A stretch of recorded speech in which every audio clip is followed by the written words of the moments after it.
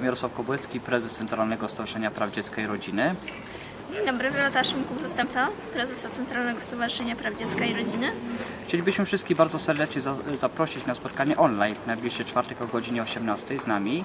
E, Będziemy mówić o prawach ojca, prawach rodziny, osób pokrzy- pokrzywdzonych przez sądy w Polsce e, i tych sprawach, które są związane z problemami ojców i rodzin e, w jeleniogórskich sądach oraz w Polsce. Opowiem Wam również o tym, jak y, sprawy okołorozwodowe wpływają na Wasze dzieciaki. Zapraszam najbliższy czwartek o godzinie 18 na portalik 24.pl.